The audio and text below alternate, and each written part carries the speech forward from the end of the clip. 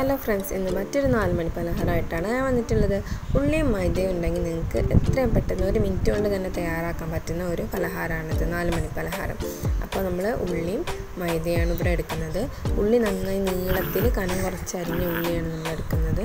അതിലേക്ക് അല്പം ഉപ്പ് ചേർത്ത് നന്നായിട്ട് തിരുമ്മി കൊടുക്കാം. അതിനുശേഷം നമ്മൾ എടുത്തു വെച്ചിട്ടുള്ള മൈദ ആവശ്യത്തിന് ഫുള്ളായിട്ട് അതിൽ ചേർക്കുക. ആവശ്യത്തിന് വെള്ളവും ചേർത്ത് കുഴച്ച് കൊടുക്കുക.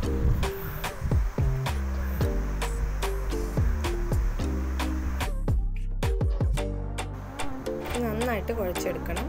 ഭയങ്കര ലൂസാവാൻ പാടില്ല. ഒരു കയ്യിൽ നമുക്ക് പരത്താൻ പറ്റുന്ന രൂപത്തിൽ ഒന്ന് കുഴച്ചെടുക്കുക. ഓവറായിട്ട് വെള്ളം ചേർത്ത് കൊടുക്കരുത്.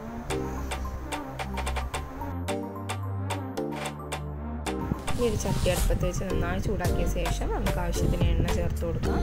അതിനുശേഷം എണ്ണ ചൂടാകുമ്പോൾ നമ്മൾ ഉണ്ടാക്കി വെച്ചിട്ടുള്ള മാവ് അതിലേക്ക് കയ്യിൽ ഇതുപോലെ പരത്തിയെടുക്കുക. ആദ്യം കുറച്ച് കയ്യിൽ വെള്ളമാക്കിയ ശേഷം ഇതുപോലെ പരത്തിയെടുക്കുക.